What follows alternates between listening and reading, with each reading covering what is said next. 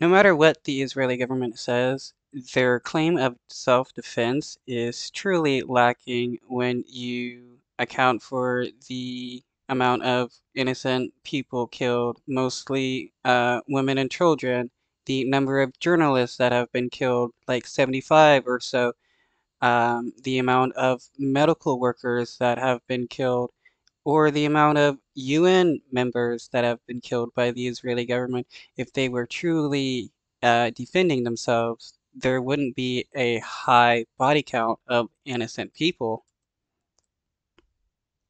Now, the siege is being accompanied by a ferocious bombing campaign. In just the first six days of the war, Israel dropped 6,000 bombs in the densely populated Gaza Strip.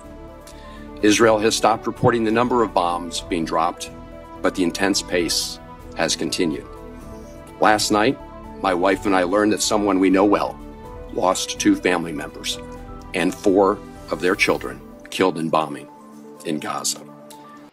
I bet somebody has claimed that those people were terrorists because they stayed in the area or they were like willing shields, which is just a way for people to try to justify the killings of innocent people.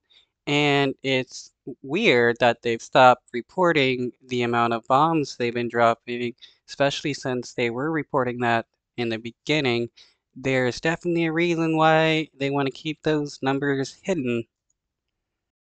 So they are not yet included in the most recent death toll reported by the United Nations yesterday, which says the number of dead has risen to over 8,300 people, 70% of them women and children, including 3,457 children. These are UN figures. According to UN figures, that is about six times more children killed in three weeks in Gaza than the number of children killed in Ukraine during the entire war there.